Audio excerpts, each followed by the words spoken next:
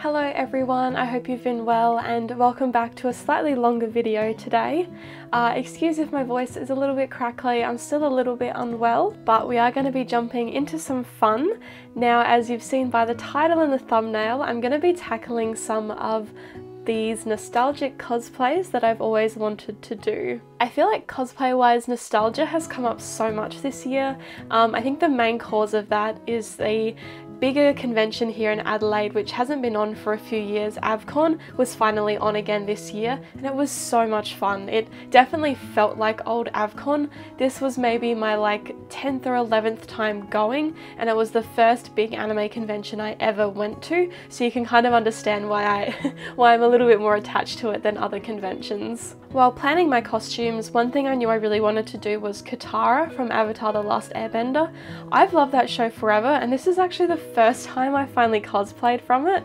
I think it's always hard to choose sometimes exactly which character to do, um, but I'm really pleased I ended up doing Katara.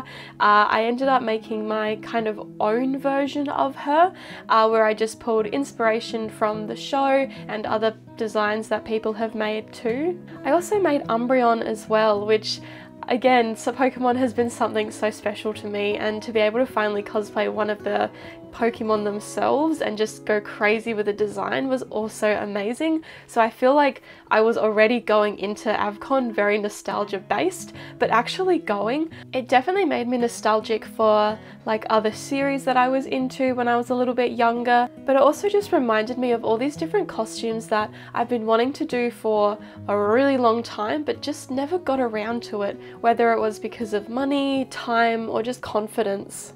Now I have already tackled quite a few nostalgic costumes this year. I mentioned Katara and Umbreon. Um, I also did an Espeon look as well, which was so much fun.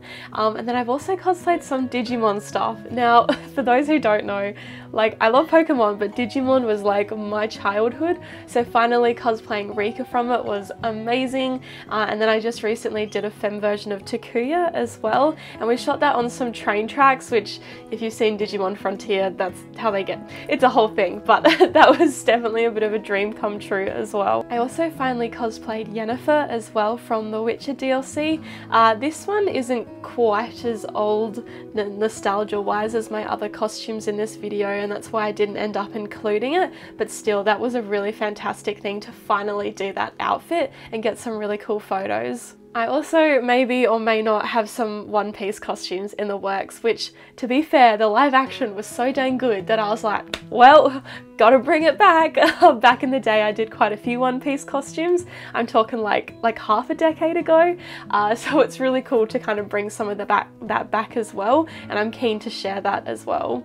Now I'm going to get you guys to follow along as I put together these costumes. Uh, some of the pieces I bought online, a lot of it was thrifted, and then some of the pieces I handmade as well. So I'll show you through that, show you through some of the makeup processes, and then taking some of the photos as well. Okay, but actually jumping into the characters here, as you've seen by the thumbnail, we have Misa from Death Note, Tharja from Fire Emblem, and then Rin from Blue Exorcist. Starting off with Misa. Now, first of all, OG, we love. um, Death Note was one of the first anime I watched. It's actually the first manga I ever bought and I still have them and I still reread them pretty regularly. Such a good story and who doesn't love Misa? I mean, she's just, she's a goth queen, the aesthetic, we love. this one's especially funny because like way back in the day, like probably 10 years ago. Um, my second photo shoot ever, I did like a Misa inspired look. There's this really cool outfit she has at kind of the end of the series. Um, and I was like, oh yeah, I can kind of put that together. I think I thrifted some stuff and used a skirt I already owned. This one was a little bit interesting though because I actually had bright red hair at the time. I used to dye my hair red pretty regularly. And so I thought it would be kind of cool to do like a, I called it like a blood version of Misa uh, just because back then I didn't really have any weeks so I would just use my own hair. You know, I did the little the little twin things that she has in her hair. Um, we took these at a, a at a train station at night, which is actually kind of funny because that was just like a random idea we had, but that train station at night in the dark and the lights I have used for so many superhero shoots since, so that was a very good find back in the day. Anyway, I got dressed up, we took some kind of cute photos, some of them were a little bit more edgy, um, but doing that so long ago and now bringing it back essentially is just so awesome and I loved being Misa. Uh, I didn't specifically want to do her kind of canon outfit. Uh, that being said, she does have many different outfits in the manga and the anime, the covers, the art. So I kind of took the inspiration of that more goth look and then just added a bunch of details until I was happy with it. I also really wanted to make her little her little like hand scythe bracelet things. Uh, back in the day when I would like look up Death Note cosplays, a lot of the girls had those and I just thought it was the coolest thing ever. So I definitely had to include that as well. Alrighty, let's hop on into it. Voiceover Jessa here and this is the dress I bought for Misa. It has some really cute details like these little bat wings, a corset waist, and then the skirt has this really lovely paneling and then the mesh underneath. I bought this costume online because it was on sale and I'm so excited to use it for more looks after this. I also had some lace gloves and these really cool they're kind of ripped but still have a really nice pattern stockings as well. This is some footage of me trying everything on together for the first time and I really loved how it turned out. I definitely felt like the goth queen and I feel like Misa would certainly approve. Now, because I was able to mostly use things that I already owned or things that I bought, I didn't have too much crafting, but as I mentioned, I really wanted to make those like hand scythe bracelets that Misa has. I started out by just having a bit of a rough pattern and then using cheap craft foam. I would draw out the spike and then cut it out, and then I would make sure to make one or two of the spikes a little bit bigger. Um, I knew I wanted three on each one, and then I just made sure I had a reference photo as well so I could keep an eye on it. Nowadays, I do tend to use black Worbla in a lot of my projects, so it means I have heaps of leftover scraps and whatnot. I try and keep as many as I can because if there's little cut-offs like this, I can usually find um, just enough to cover the spikes. And then for the slightly bigger spikes, I actually went in and started just kind of putting two pieces of the black Worbla together and then just layering that on top. The great thing about Worbla is that when you do heat it up with a heat gun, it gets quite sticky and it sticks to itself super well. So if you are wanting to almost like patch together a sheet, you can do that pretty successfully. I also make a cuff out of Worbla and foam and let that cool down around my wrist to hold shape.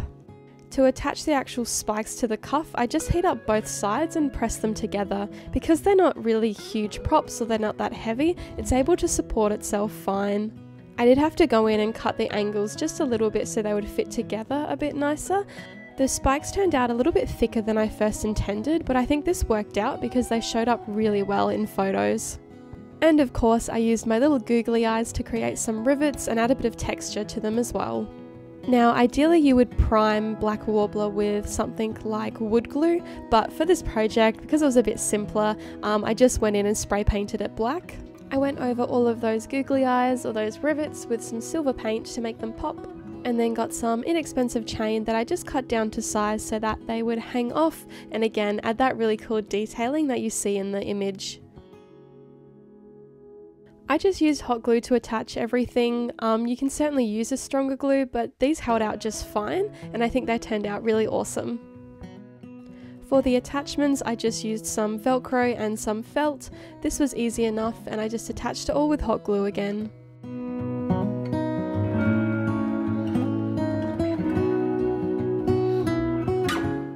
I used a glossy black spray paint so you can see it's got a nice shine to it as well. Now, for the wig, this is an existing one I already had. It was actually my taco wig. Um, I'm glad I held on to it because it made a really good base for my Misa wig. I didn't want it to be too yellow, and I feel like this wig was the perfect kind of bleached blonde, um, but still had a bit of yellow that the anime and manga tends to have. The wig already had bangs, which was fantastic, so I just had to go in and add those two little twin tails. I ended up cutting the length a little bit as well just to make them really pop out. In a lot of the images those little streaks do tend to be a bit shorter than the rest of the hair.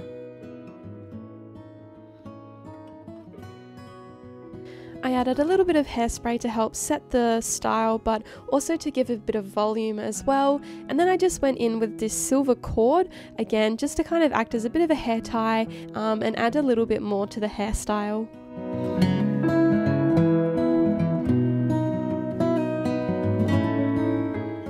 Was really happy with how this wig turned out and I love that it had a little bit of a curl as well. I think it suited Misa and my look super well. For my makeup, I of course went in with some foundation and then some powder to set everything. I went a little bit heavy with the pink blush it would show up in the harsh lights, and then of course went in and highlighted my cheekbones, my nose, and the top of my lip too. Kept my brows pretty simple and just did what I usually do for my own hair.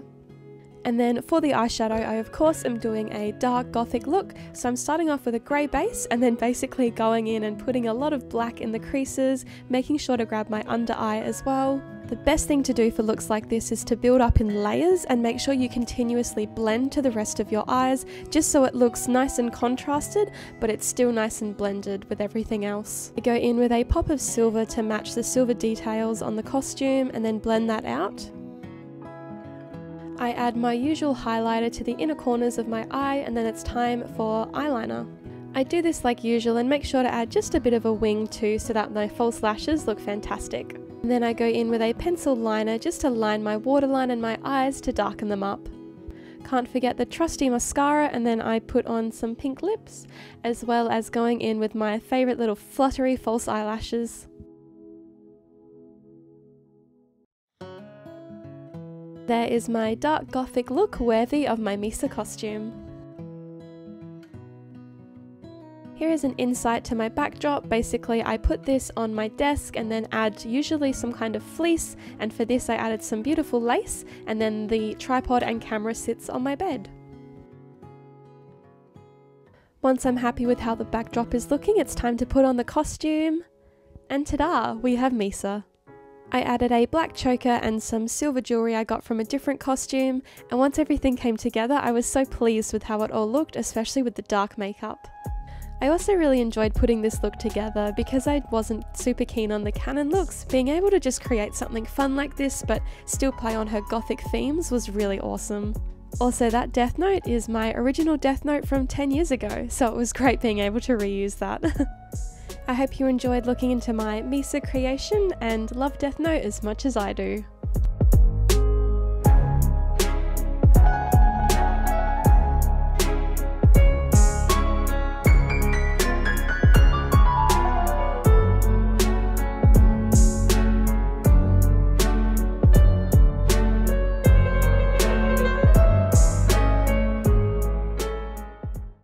Now, moving on, we have Tharja from Fire Emblem. Who who doesn't love Tharja? she is very iconic. Even if you're not familiar with the character, probably have seen her design around. Um, it's a bit funny. I actually haven't played that much Fire Emblem, but I got Fire Emblem Awakening. I think I borrowed it from a friend, and I just played it non-stop. I just it was such a fun game to me. Um, my top character was actually Pain, which I would love to cosplay her, but in this round, I didn't particularly want to deal with that much armor. Um, but number two was definitely Tharja. She was my second strongest.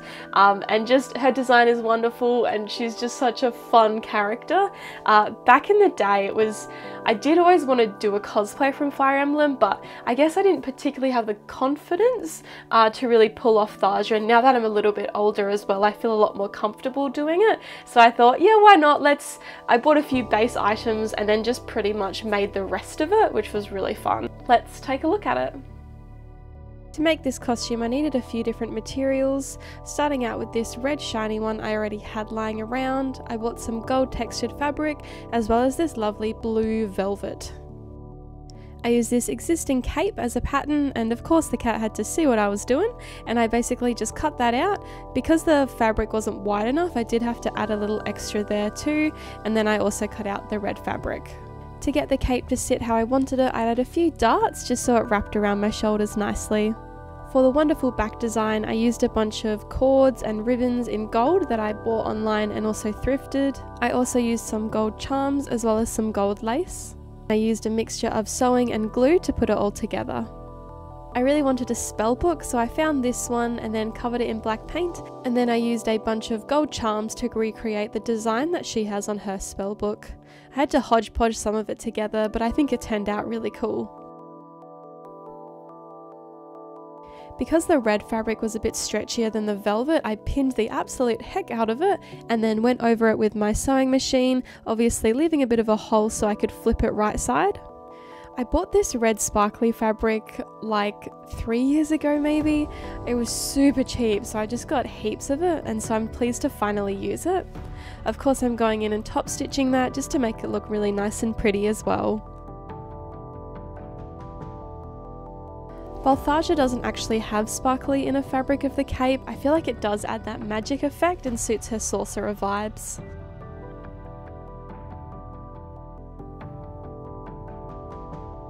Jumping back to the spell book, I go in with hot glue and place the charms around. Like I said, I just kind of got a rough idea of what it looked like going by the image and then just rearranged it slightly depending on the charms I had and the position that I personally liked as well.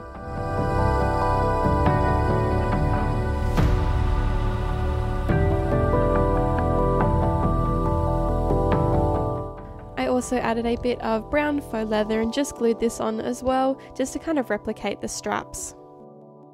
To finalise the details on the back of the cape, I just glued these kind of eye shapes made out of cord. You could certainly sew this entire thing, but in all honesty, I just did a bit of a mixture. Uh, I love hot glue, so if I can kind of get away with it, I do love to use it when I can. This design is also more extra than her actual design, but I can't help it. I love adding my own flair to costumes when I can. I use some of that more gold lace just to line the entire cape as well. Now for the gold detailing around her hip and around her chest as well, basically what I did is I started out with a foam base and then I cut a similar size to that out of all of the gold fabric. There are a few ways to do this. You could certainly glue it down now. You don't even have to use foam, you can use interfacing. But personally, I love doing it this way because it gives nice stability to the piece and my sewing machine can sew through a, you know, a general fabric and then through EVA foam really well and it just turns out really lovely. I then used a zigzag stitch to combine both hip pieces. These will be getting velcro at the back so I can easily take it on and off. For the front panel, I kept this quite simple. I started out with a paper pattern for both pieces. I used the same velvet for the larger triangle and then the gold wrapped around EVA foam for the smaller one. I finished the edges of the panel with sewing, but then I hot glued some lovely gold cord to the end as well.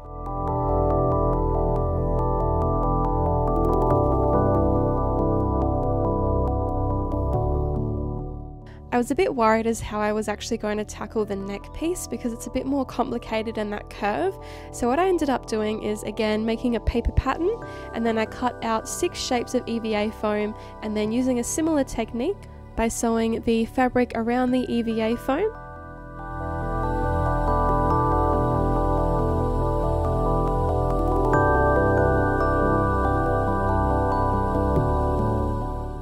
I then trimmed all of the excess fabric and once I had these, what I basically did was using another zigzag stitch, I basically put them together, but just because of the way they're shaped, it naturally creates a bit of a curl.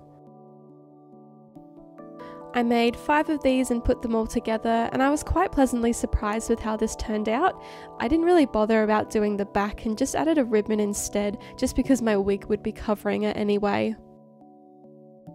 Now onto the crown, this is some Worbla that got heat damage outside, so I'm just heating it up and trying to get it nice and flat again. Worbla is amazing for things like that, you can generally reshape it easily enough.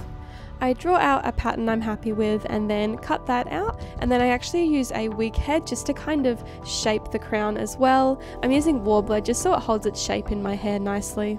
I also use some Worbla scraps on the book just to finish off the kind of closure, use some googly eyes of course for the rivets, and then I go in with some wood glue to prime that.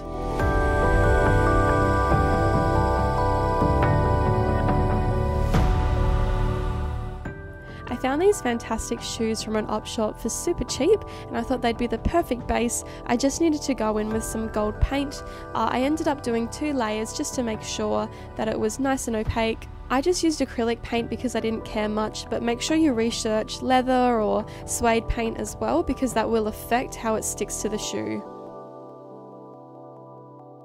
Once I was happy with all of the gold design on the notebook, I went in with a light purple colour and ended up drawing all these different designs.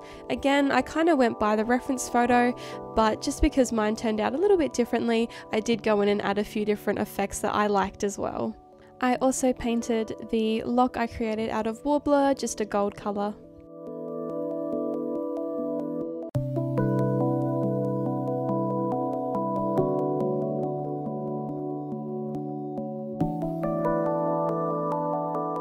I bought this base black wig online and then just trimmed up the bangs a little bit more. I ended up using black instead of a navy blue just because it was a bit more versatile. And then I went in, she, funnily enough, has kind of similar hair to Misa, so I was able to kind of create a similar hairstyle to that just in the black, and I did give them a little bit more volume. The crown is just attached with elastic in the back and I just sewed that gold little charm on top as well and it just sits nicely on top of the wig. For the makeup, I already have a base of foundation and powder, and then it's time to go in with some blush. I'm really sticking to purple colours just to really suit her magic, and then I go in with highlighter as well as doing my brows, making them nice and black to suit the wig. I kind of do like a half smoky look, but instead of building it up with blacks, I just build it up with progressively darker purple colours. Again, this was just something I thought would match the rest of the costume and also the props too. Again, I'm making sure to build it in layers and then also blending it out after each layer. And then of course I go in with a pop of sparkly purple eyeshadow on my lid. Can't forget the inner eye highlighter and then going in with that dark eyeliner again.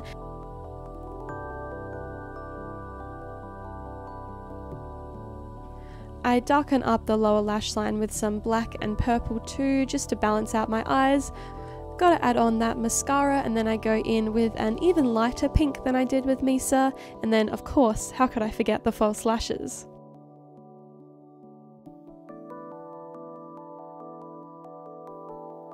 And that is the purple smoky look for Tharja. Uh, I really like this and I should wear purple eyeshadow more because it's fantastic.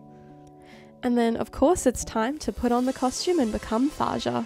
I bought the black bodysuit online, which, yes, is a pain to get on, but it does look very cool. Um, I use an existing bra for this and then just add the gold details on.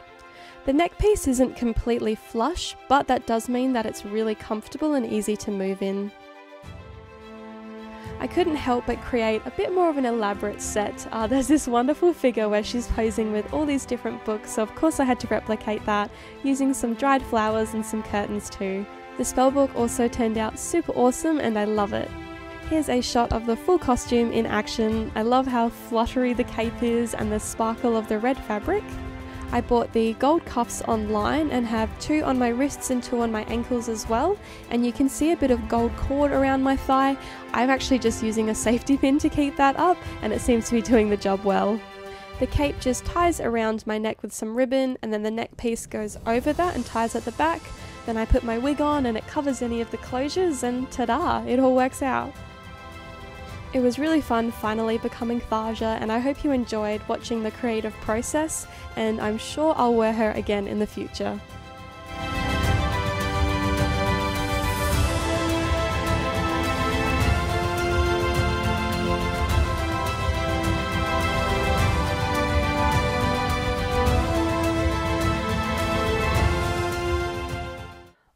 Last up is Rin from Ao no Exorcist or Blue Exorcist, which was a popular anime back in the day, and I think the manga is still ongoing.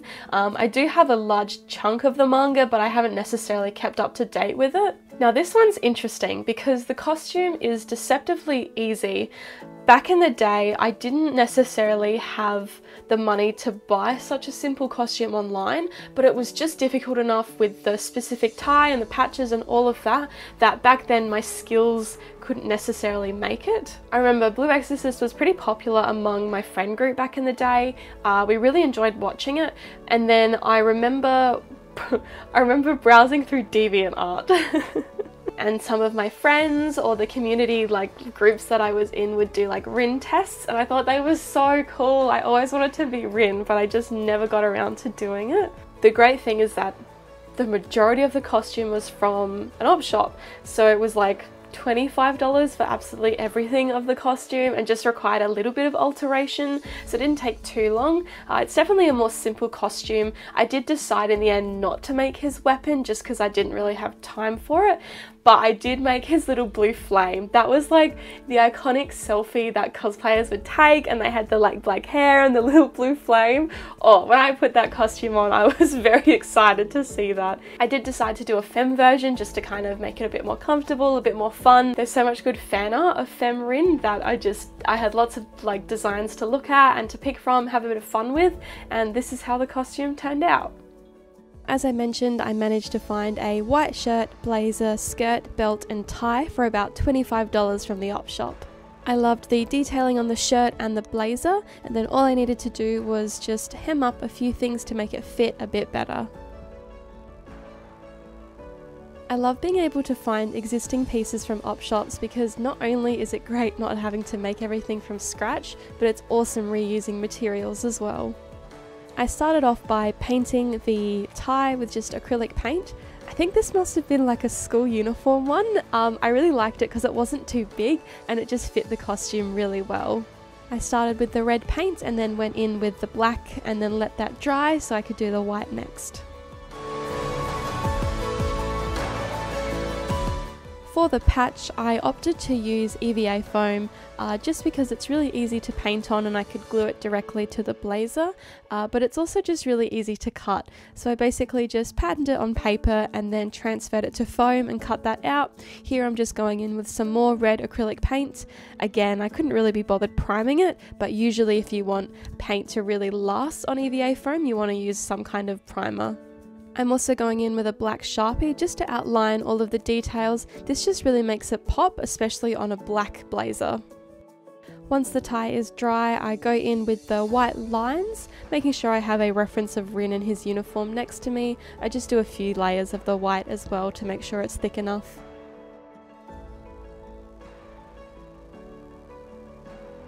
I ended up just freehanding the symbol on the bottom of the tie, but I think it turned out really cool and I love how the tie turned out.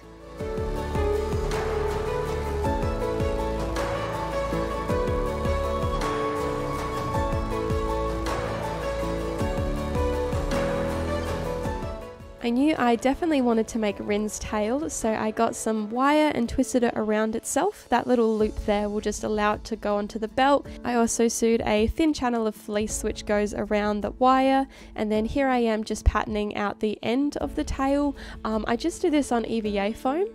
There are probably a few ways to make it a bit more structurally sound, but this was honestly just the easiest way and it turned out fine. I was able to kind of flip it around and it supported itself pretty well. I covered both layers of that tail end in more black fleece and what you'll notice me doing in a tick is I do put on some popsicle sticks just to make the foam actually a bit stiffer. Ideally I would have done this between the two layers of the fleece but I kind of didn't think of it until after so I just went over here and just covered it with some more fleece. Luckily you can't tell and as you can see here it actually holds itself up really well and it's super posable too. Uh, it's definitely the most fun part of this costume. Next up was all of the hemming and sewing. Uh, this skirt, I basically cut it apart because I loved how fluttery it was, but I definitely needed to shorten it, so that's what you see me doing here. And then for the white shirt, I essentially took in the sides quite a lot. That's what made it a lot more fitted. And then I did cut off a decent amount of the length as well so I've just got to go around and hem the white shirt too. I had this leftover white bias tape which was the perfect width to put around the blazer so I'd basically just clip that into place and sewed it all up. Here you can see the white belt and I actually added just a little bit of chain. This is left over from my Misa project. Uh, just to, you got, got to have that edgy chain for Rin. As I mentioned, the blue flame was a very important part of this costume, so I had some blue fairy lights and this foam, which was probably for some packaging. I just cut that into a flame style. I bunched up the fairy lights and then glued that on there. Just be a bit careful though, because styrofoam like this will melt if you use too much hot glue. I glued on a clip which I used to attach it to my wig and then the battery pack just hangs behind it and can be tucked under. Here I am just gluing on that patch.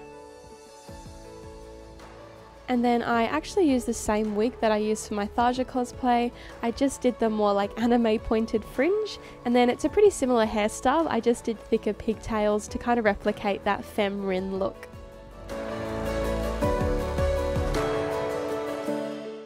This is actually footage from my phone. It's the first time I tried everything on and I thought it was too cute not to share. I really loved how it looked. Out of all three looks, this is the most simple makeup, so as usual I go in with foundation and powder. I do some thick brows, a little bit thicker than I did for Tharja, and then of course I go in with some blush and some highlighter like usual. I keep the eyeshadow fairly neutral with cream colours and of course going in to darken up the crease. I love how it looks in photos and then I go in with a blue liner as well just to add a bit of pop to the lower lash line. I lightly line my eyes with a black eyeliner. By finishing I darken up my lower lash line and then a little bit more highlighter on my inner corners. Gotta pop on those false lashes of course and then I finish off with a pretty neutral lipstick, just adding a little bit of pink to the centre. And that is my simple Rin makeup all done. Out of the three costumes, this was definitely the most simple, but I kind of wanted to approach it as if I was making it back then. So I did really simple techniques, nothing crazy, uh, definitely utilising those op shop finds like I said, it was really cool seeing myself as Rin just because it's been such a dream for such a long time. Even if it is really simple, I had so much fun with it. The tail is definitely the most fun thing about this costume. Uh, as you can see here, I also go in with some thigh-high socks, and uh, you can't see them, but I am wearing some white boots as well. I hope you also enjoyed looking into my Rin costume, and I'm sure young me would be very, very proud.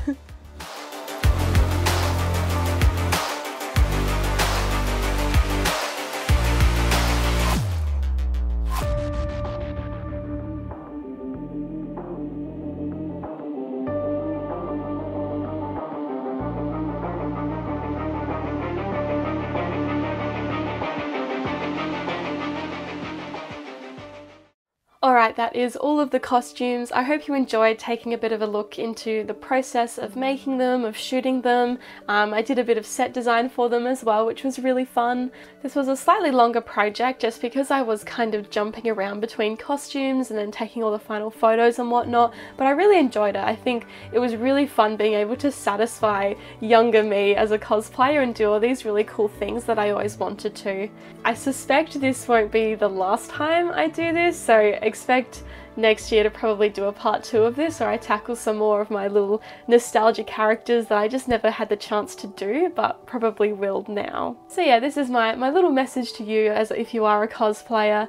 Um, maybe pick, pick a costume that you always wanted to do, even if it's something where you can thrift from a store or just do like a half version of them. I feel like it was really satisfying and fun and it, although I now have many more skills than I do and I have access to, you know, um, you know, better sewing equipment, Worbla, um, better armor supplies and plastic and all these things, you know, it was still really fun being able to just tackle, especially Rin just doing what I probably would have done back then if I had the chance. Uh, so don't be afraid, have a bit of fun with it um, and bring back that nostalgia. Thank you guys so much for watching and I'll see you next time. Bye!